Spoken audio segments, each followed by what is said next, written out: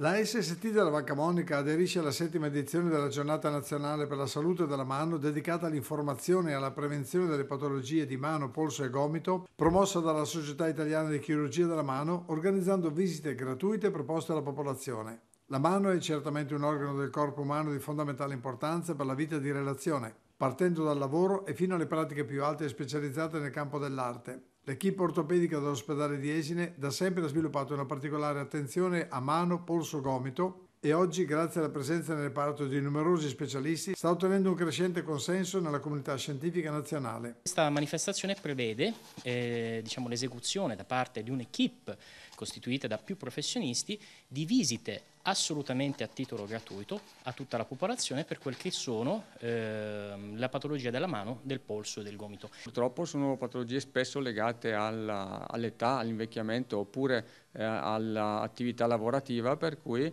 eh, quasi tutte le persone soffrono di qualche problema alla mano. La mano è eh, nostro, uno dei nostri organi più importanti, viene sfruttato tantissimo e quindi eh, ha spesso delle problematiche, quindi vanno trattate eh, da specialisti.